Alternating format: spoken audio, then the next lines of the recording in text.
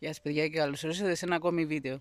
Σε αυτό το βίντεο θα δούμε τη μεταμόρφωση λίγο αυτού του παλιού του φορτηγού. Γιατί από τα χρόνια έχει κάνει από πάνω η οροφή και κάτω οι πογές και όλα. Και έτσι θα ξεκινήσουμε λίγο να κάνουμε τις αλλαγές, να το φρεσκοπογιατίσουμε για να δείχνει ξανά καινούριο. Έχει κάτι χρόνια να δείξει καινούριο, αλλά ναι, με την πογιά μπορεί να δείξει καινούριο. Δείτε πώς είναι μέσα τα παλιά. Το φορτίο.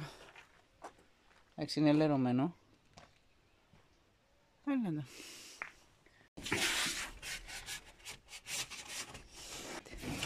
Είδα από μέσα.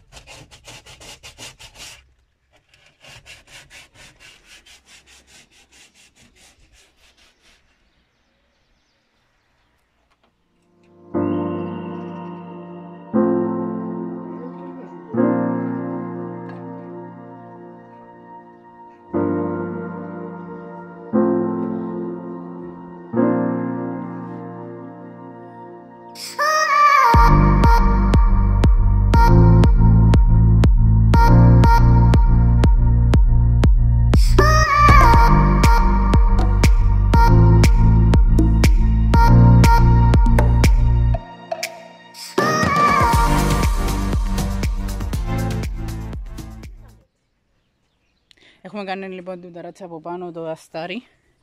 Θα κάνω και εδώ και αυτό. Τι καλές μου να κάνω γιατί ε, με αφήνει να το κάνω τούτο απλώς επειδή είναι να πω ούλον άσπρο. Έγκριμα να μείνει τούτο να αυτό. Και συνεχίζουν.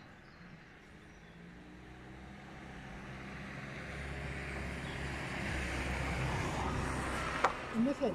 Δεν μου να σε κάνω. Εκείνο είναι να το κάνεις άσπρο. Εσύ τι λέτε δάμε. Τούτη δάμε την παρά την εσωτερική. Άσπρη είναι. Τι κοτσίνη. Παλιά ήταν κοκκίνο. Άσπρη. Ήταν κοκκίνο. Δεν... Δεν φέρεις κοτσίνο. Με λεπτό μιλάς. Με την τηλεκάμερα.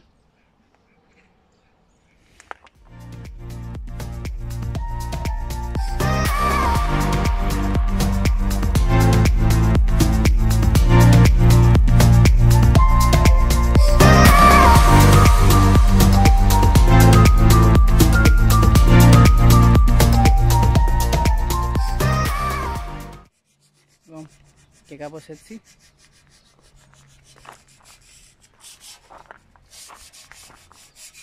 Το αφήνουμε πάνω στα 20 με 30 λεπτά για να στεχνώσει, για να μπορέσουμε να προχωρήσουμε στο πογιάτισμα στο χρώμα. Εσείς